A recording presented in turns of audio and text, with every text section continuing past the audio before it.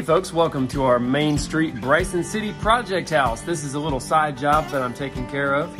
And I want to show you some really cool differences between old framing, and when I say old, I mean 100 years ago, versus modern framing. So let's take a look.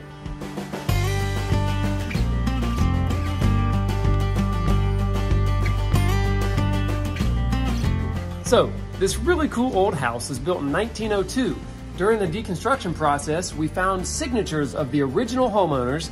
We used the county records and photographs to identify the time period when it was built. And we narrowed it down to 1902. Currently it's 2020, so that makes the house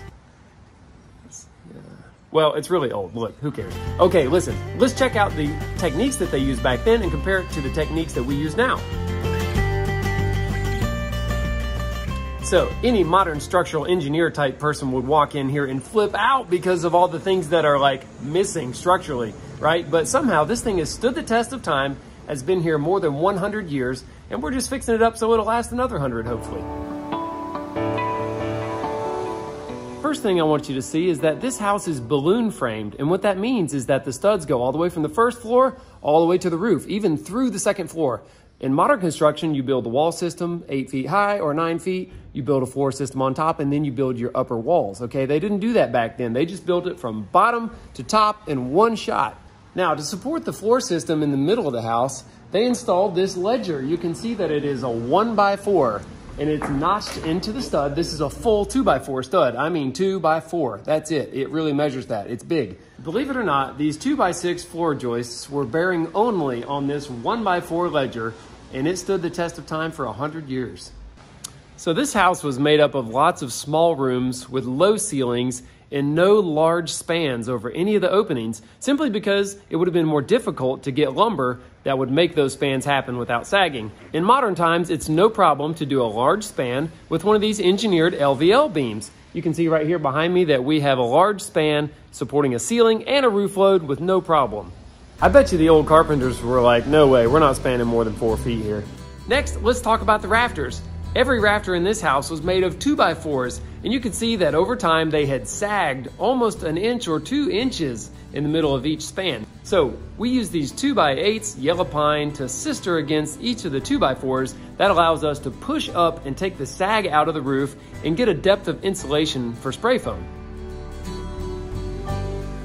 Now it looks all pretty now that it's done with 2x8 screwed to every piece of 2x4 in this roof, but actually it was a very difficult process taking many days for me up on a scaffold. We would take the rafter and screw it in at the bottom edge and then push up even as hard as I could push. You couldn't push the bow out of the roof. So we took a giant TimberLOK, a six inch screw, we drilled it through at a very shallow angle upward and then drive it in till your drill starts smoking and hoping that it pulls up enough and hits the top of the roof decking, making the roof flat. Next, let's look at the building envelope of this house. That's a big topic these days. Energy efficiency, vapor barriers, moisture barriers, insulation. Well, I can tell you, back in 1902, they put studs up and then they nailed this yellow pine siding right to the studs. No sheathing, no vapor barrier, no nothing.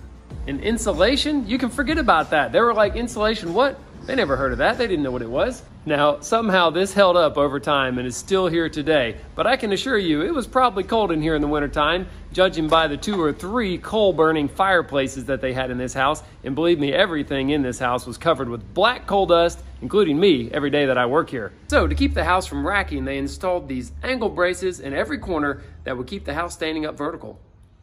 As much as I hate to see the old siding go, we are going to tear it all off and replace it with this half inch OSB, followed by builder's wrap, new windows, spray foam insulation, making it completely modernized with a new building envelope. Believe me, folks, many people have said just bulldoze that thing and get rid of it so you could build a new house here. Well, that would have been fun and all, but I don't want to do that because there's something about the character of an old house that you just cannot replace. Man, it looks pretty awesome. Check out this old 2x4 compared to a new 2x4. Here's the difference. You can see that there might be 20 to 30 growth rings within this modern 2x4, and this old growth 2x4 has more than I can count. Look how close together they are. I guess that's the difference in timber harvested 100 years ago compared to now. Hey, thanks for watching today.